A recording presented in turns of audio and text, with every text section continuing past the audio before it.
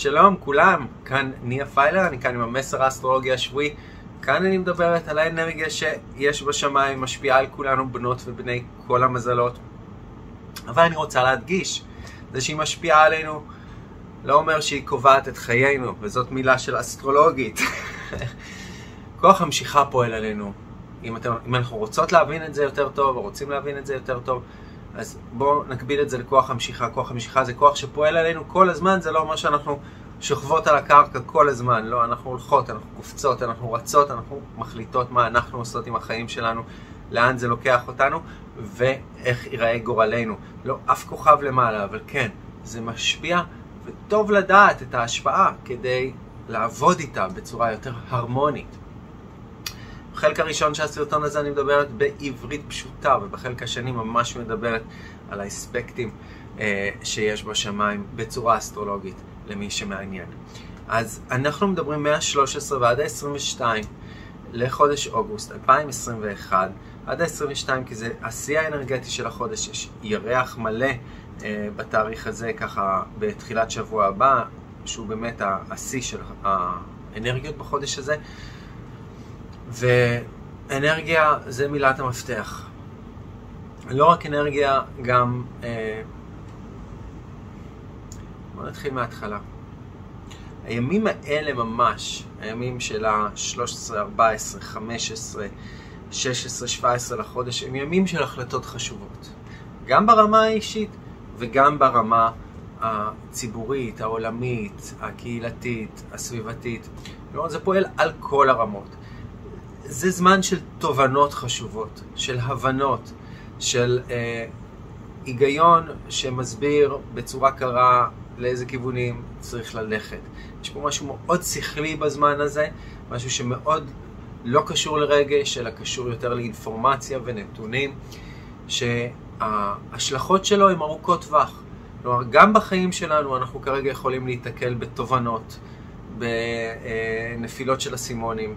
באינפורמציה חדשה שמגיעה אלינו, או שסוף כל סוף מתיישבת לנו במקום, שמאוד משפיעה על המשך המהלכים והבחירות שלנו, על המילים ועל הרעיונות שלנו, וההשפעה הזאת היא ארוכת טווח. כמובן שאנחנו יכולות לראות את זה גם בממדים הציבוריים הגלובליים. אמ, השבוע הבא הוא שבוע סופר סופר אנרגטי, כלומר קודם כל כל הנושא הזה של שיח, תקשורת, אמ, כמו גם אה, תנועה במרחב, אפילו נסיעות בכבישים, אמ, ובטח ובטח דיונים אידיאולוגיים יכולים מאוד מאוד להתחמם. כלומר, אנחנו קודם כל צריכים לשים לב שהמחשבה שלנו והשיח שלנו והתקשורת שלנו והתנועה שלנו במרחב, בין אם זה אה, ממש בכביש או כשאנחנו חותכות סלט או כשאנחנו עושות התעמלות ובין אם זה כשאנחנו מדברות עם המשפחה הקרובה, עם האחים והאחיות שלנו, עם השכנים והשכנות שלנו, לא תתלהט יותר מדי, לא תהיה אימפולסיבית, לא תהיה ריאקטיבית, אלא תהיה שקולה. אמ, האנרגיה הזאת מתגברת ואיתה גם יכולה להתגבר הדעתנות. אנחנו יכולים להרגיש שאנחנו צודקים ושזה הזמן להטיף מוסר ושאחרים שהם טועים הם בעצם מקור כל הרוע והבעייתיות. וה, וה, בסך הכל זה זמן שבא להרחיב את האופקים של כולנו. זה זמן שבא להאיר את האמת. את האמת שצריכה עכשיו להתממש. את ההירתמות הכוללת של כולנו כרגע לעשייה שהיא יותר טובה לעצמנו, קודם כל, ולכדור. אה, כלומר, לכולנו, בצורה יותר רחבה. אה, אז שבוע הבא הוא שבוע שיכול להיכנס לתוך החיים שלנו הרבה מאוד חדש. תרשו לעצמכם להיות גמישים וגמישות ובאמת להרשות לעצמכם לעשות דברים ולהיות גם כן. מי שעדיין לא הייתם, לחקור וללמוד דברים שעדיין לא למדתם. גמישות היא מילת המפתח כאן. צריך לשים לב, כי יש קוצר סבלנות בשמיים בשבוע הבא, ואנחנו עלולים ועלולות לא להעריך מספיק את מי שישנם בחיים שלנו, את הפרויקטים שכבר מצויים בחיים שלנו, מתוך איזשהו רצון מיידי להתקדם, לזלזל בהם ולזרוק אותם תינוק ומי אמבטיה יחדיו. אז באמת לשים לב שאנחנו מתקדמים הלאה בצורה שהיא גם לא מזלזלת במי ובמה שכבר מצוי בחיינו. ולקראת uh, סוף השבוע הבא יש שני משולשים יפים בשמיים, אחד משולש אדמה בין ונוס ושבתאי והדרקונים, ואחד, uh, uh, סליחה, משולש אוויר בין ונוס ו, uh, ושבתאי והדרקונים, uh, והדרקונים? כן, ראש הדרקון. Uh, ואחד uh, משולש אדמה בין מאדים ומרקורי לבין אורנוס והירח.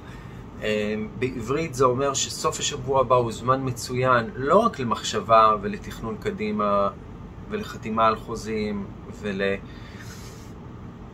ולשרטוט הפרק הבא, אלא גם ממש להגשמה, לעשייה, לשים דברים בשטח. זמן שיכול לספק לנו איזשהו בסיס חדש של יציבות, אמ, ממש לקראת הירח המלא ב-22 לחודש.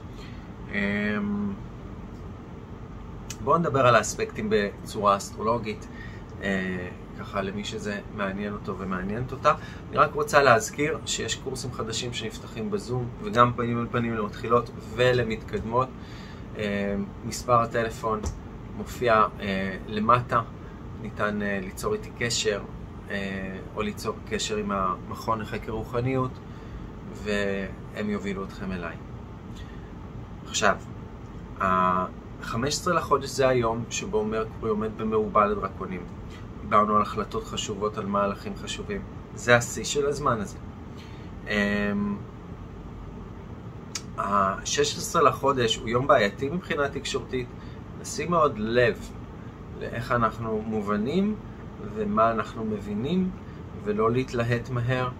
ה-17 עצמו יכול להיות יום הרבה יותר רגוע והרבה יותר כיפי. ה-18, אה, יום קצת רגיש מבחינת מערכות יחסים בערב, אנחנו יכולים להרגיש קצת פחות מסופקות. ה-19 לחודש מרקורי, כוכב התקשורת, נמצא בצמידות אל מאדים, כוכב האנרגיה הזכרית. זה מה שהזכרתי קודם על דיונים שיכולים להתלהט, החלטות שיכולות להיות אימפולסיביות, זהירות בדרכים. יום אחרי כן, השמש עומדת מול יופיטר. יופיטר יהיה קרוב לכדור הארץ, כל האור שלו יזרח על כדור הארץ, ואנחנו מרגישים את מלוא עוצמתו. באותו יום גם מרקורי כוכב התקשורת במשולש לאורנוס, כוכב ההערה, אה, כוכב ההתקדמות. באמת, זה זמן של שטף של רעיונות חדשים, של פתיחת אופקים, של תובנות, של המון המון אנרגיה ושל איזשהו רצון להיגאל.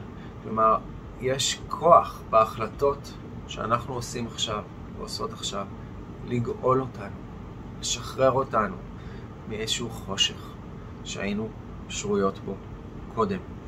ה-22 אמ, לחודש זה היום שבו גם האדים ניצב במשולש לאורנוס אמ, וגם אה, אה, הירח המלא בשמיים מופיע. אז עד ה-22, אבל כבר מה-20, אנחנו נהיה מפוצצות באנרגיה. אני אדבר עוד על הירח המלא הזה בסרטון הבא, זה פשוט טיפה יותר מדי רחוק, ואני אדבר על כל האנרגיות שלו.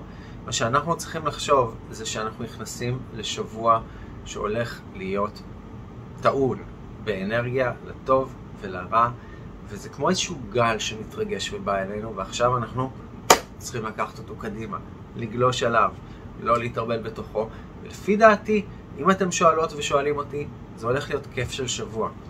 כל עוד אנחנו לא אימפולסיביים ולא זהירים. אז קניה פיילר, תודה שאתם מקשיבים ומקשיבות, מגיבים ומגיבות, וכמובן שכל דבר כזה מקפיץ את הפוסט ומשתף אותו בעוד מקומות. תודות לאולוגריתמים של הרשתות החברתיות. אני אשמח שתיצרו איתי קשר גם בעניין של ייעוצים אישיים כמובן. כל שאלה שיש לכם על אסטרולוגיה. גם אם אתם לא מעוניינות או מעוניינים ללמוד אצלי והייתם רוצים לדעת על מורה או מורה אחרת טובים בתחום אחר של אסטרולוגיה, כי אני עושה אסטרולוגיה התפתחותית, מוזמנים לפנות אליי ואני תמיד שמחה מאוד מאוד לעזור. אז שנחיה הרבה ונשגשג. להתראות.